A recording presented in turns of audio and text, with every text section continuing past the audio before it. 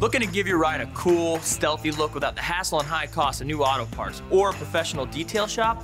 Rust-Oleum Peel Coat products already allow us to customize our cars with cool colors and designs for rims, hoods, and trim.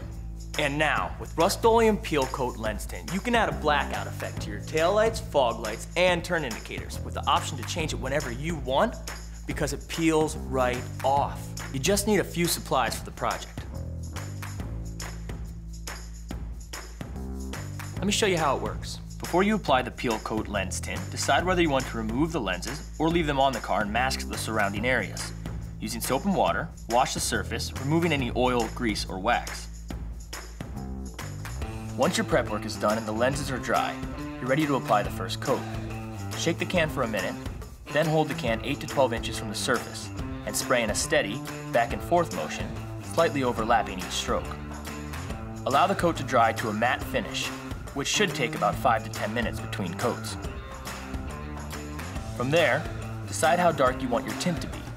Add just a couple more coats for a cool, light tint, or up to three more coats for a sinister, dramatic effect.